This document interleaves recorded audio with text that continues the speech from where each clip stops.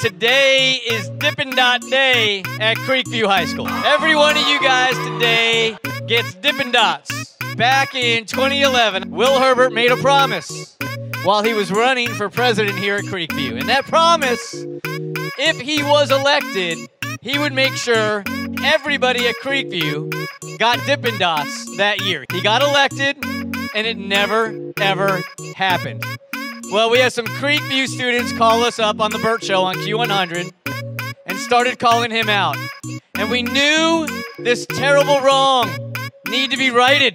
It will be Dippin' Dots Day today, and it's all because of this guy, because he is making good on his promise to the class of 20, 2011 through you, the class of 2016. I hope you enjoy the Dippin' Dots that I could not get for my class. There's so many flavors, can't save them for later.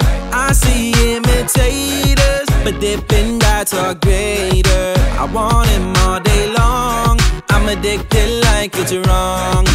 There's so many flavors, can't save them for later.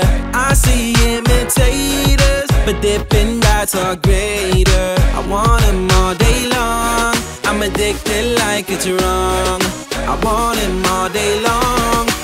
I'm addicted like it's. What you gonna, what you gonna do with Dippin' Dots? Do what, do what, dee da, dee da, doo da. Do what, do da, dee da, do da, doo da. Are you saving Dippin' Dots for me? Cause if you are, all you gotta do is offer me.